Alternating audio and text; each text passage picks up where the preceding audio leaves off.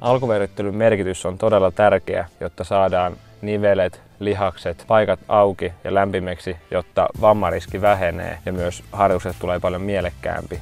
Alkuveryttely sisältää esimerkiksi 15 minuuttia juoksua, jonka päälle muutama koordinaatioharjoitus, pienet venyttelyt. Sitä kautta olet paljon valmiimpi tekemään sen harjoituksen tai esimerkiksi intervalliharjoituksen loppuveryttelyn merkitys on myös todella tärkeä, sillä se auttaa sinua palautumaan harjoituksesta, poistaa maitohappoja ja kuona-aineita elimistöstä, jolloin olet paljon valmiimpi seuraavan päivän harjoitukseen. Loppuveryttelyn kesto voi esimerkiksi olla 10 minuuttia, josta loppuun kävellään pari minuuttia, jonka päälle sitten venytellään hetki.